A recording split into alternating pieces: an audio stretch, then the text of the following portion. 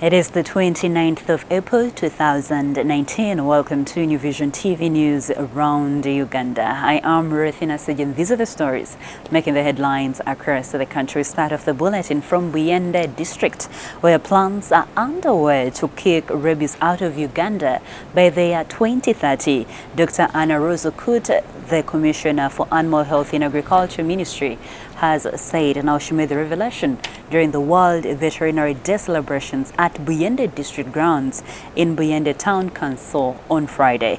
Okurut said tackling rabies would involve ensuring that dogs are healthy. Dogs are friends of humanity, so they should be kept healthy. She said, now vaccinate them against rabies and wash them to keep away fleas.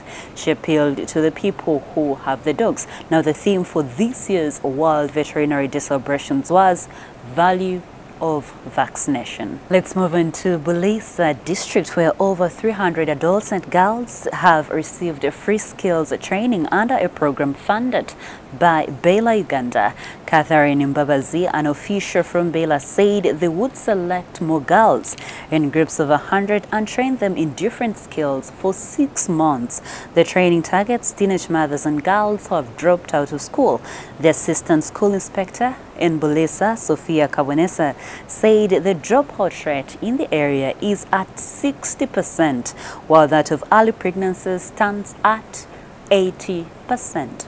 You're still watching New Vision TV news around Uganda with me, Ruth take a break now and look at what is making the headlines in today's copy of the New Vision.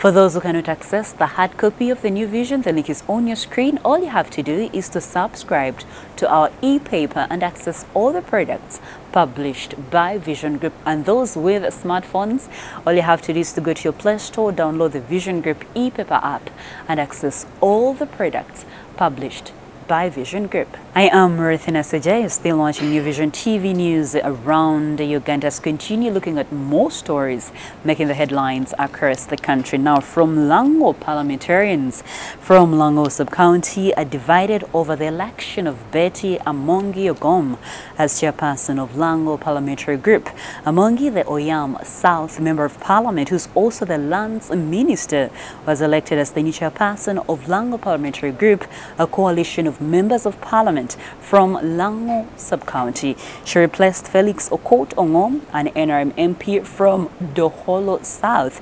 Among stood against Dennis Hamson Obua, NRM MP in Ajuri County, and Jonathan Odur, UPCMP, Erute South. Now she got 10 votes while Obua and Odur got 6 and 3 votes respectively. Other MPs did not cast their votes for various reasons. During the election, other office bearers who took office include Paul Amoru Omoriat, Omiat, and an NRM Dokolo North MP as Vice Chairperson, Doreen Amule, NRM MP, uh, Woman MP Amolatar District as General Secretary, Judith Alyek, an NRM woman MP in Kole District as treasurer and Dennis Hamson Obua as publicist secretary as well. All went through unopposed. Let's close the bulletin from Alebtong district where United States Agency for International Development, he said, has lauded Uganda for its efforts in fighting malaria.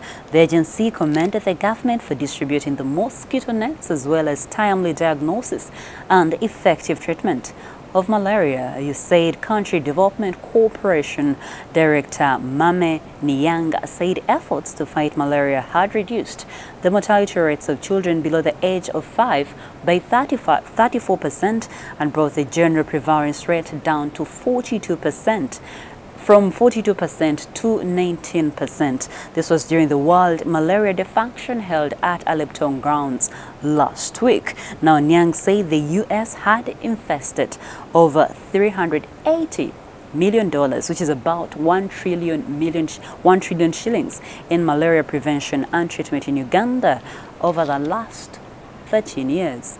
That is all we had for you. Thank you for watching. Be sure to catch more news updates and other programs here on New Vision TV by visiting our website, which is newvision.co.ug forward slash video. You can also follow us on social media.